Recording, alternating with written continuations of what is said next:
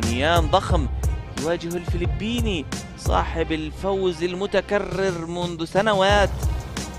لا ينازعه أحد في وزن 75 كيلوغرام. أعزائي المشاهدين من دبي تشاهدون أبطال استثنائيين دوليين من حول العالم وبالذات من القارة الآسيوية المسيطرة على مجريات الأولمبياد والألعاب الدولية اللاعب الفلبيني في الركن الأحمر الخلوق صاحب الحس الفكاهي إيمور فليكسي مارسيل رقم. At the middleweight 75 كيلوغرام هذا اللقاء أضمن لكم أنه سيكون لقاء استثنائي لقاء متعة لقاء يعرض بالملايين أعزائي المشاهدين ملايين حول العالم يشاهدوننا الآن. بهذا اللقاء كلا اللاعبين على قدر كبير من الشهرة وعلى قدر كبير من القوة والتنافسية. لو كان هذا لقاء احترافيا لكان هناك الملايين المدفوعة المدفوعة من الدولارات فقط للتفرج على كلا اللاعبين المهريين. كنا وإياكم مع المدير الفني لمنتخب الإمارات للملاكمة. المدرب محمد مصبح سعيد الشبلي ونتمنى له التوفيق في البطولات القادمة بإذن الله. ويوما ما سنجد اللاعبين العرب والإماراتيون يتنافسون في نصف النهائي والنهائي بهذا الشكل. لدينا الكثير ولكن الظروف تمنع في بعض الأحيان ويكون لها رأي آخر. الجولة الأولى والدقيقة الرابعة عشر بمجريات الجولة الأولى والحكمة وتنبيه للاعب number 1 الفلبيني بوضعية ال southpaw بعدم الضرب خلف الظهر. لا تتعجل عزيزي المشاهد فهذه الجولة الأولى. كلا اللاعبين حذرين من يرى مباراة الأمس لجعفروف. وللسيطرة التامة لثلاث جولات والضربات الجذع الذي نفذها. سيطلب من الركن الأحمر التريث قليلا قبل خسارة التصنيف الدولي لكن هيهات.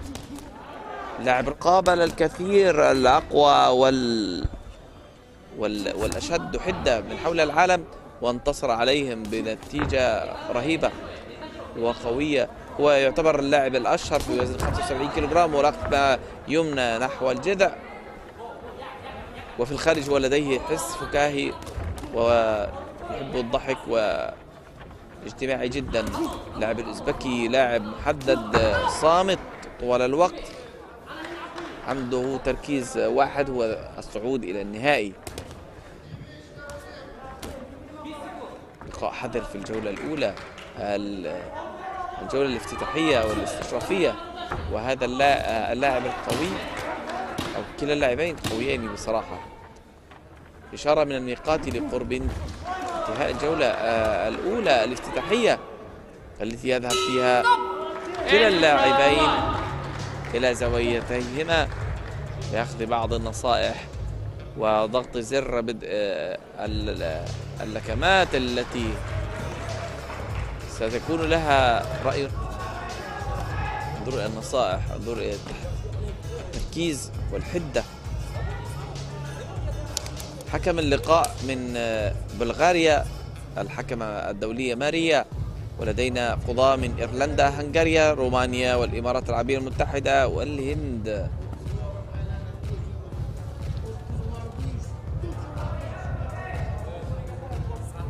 الزوايا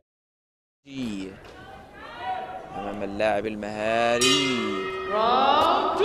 جعفروف من أوزبكستان في الزي الأزرق. كثيرون من شبابنا العرب تواجهوا مع أحد مع كلا اللاعبين إما مع جعفروف أو أمير يومير اللاعب المشهور جدا الفلبيني واكتسبوا منهم الخبرات.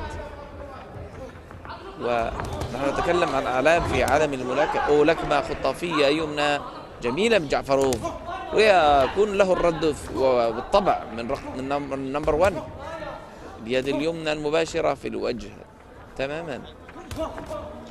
لكمات 1 2 أو في تعثر غير مقصود عن طريق البساط واستكمال. أوه اللكمات القوية لبقيه الرد الفلبيني في نفس الوقت لم ينتظر له حتى الفرحة حتى بتهديف لكمتين. لاعب مهاري لاعب جعفروف. لكن أمامه اختبار صعب. هذه المرة من اللاعب الفلبيني يومر مارسيل. اللكمات القوية. تكاد الكاميرا. تقسم إلى نصفين من تلك اللكمات القوية. انتبه عزيز المصور. هذه اللكمات القوية. المحددة التي تأتي من أبطال العالم. أبطال استثنائيين سترونهم كثيرا كثيرا في المقابلات القادمة. لديهم سيطرة على مجريات الأحداث في وزن 75 حول العالم. انظروا إلى الثقة انظروا إلى التعامل. اللاعب الأزرق يتعامل مع رقم واحد بهذه الثقة وبالرقصة. انظروا. لاعب حركة شوف شوف شوف شوف. الحكم هو شخص متفرج في هذا اللقاء.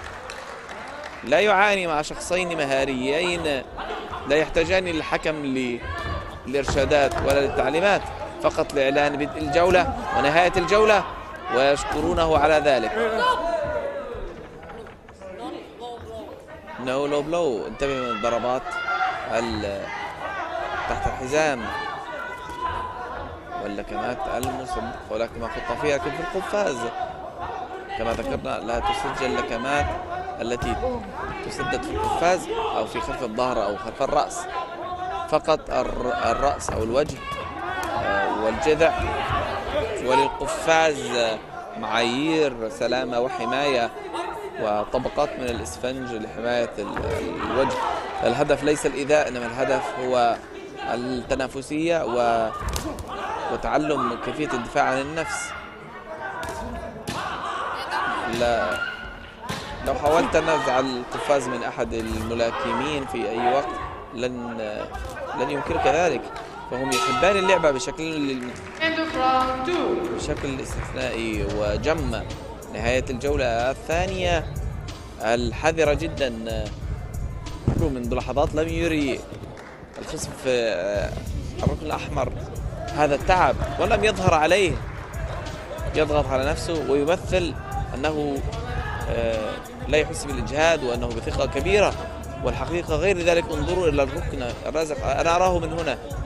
مرهق لا يكاد يلتقط الأنفاس لكن كل التحية له اللاعب جعفروف الفنان.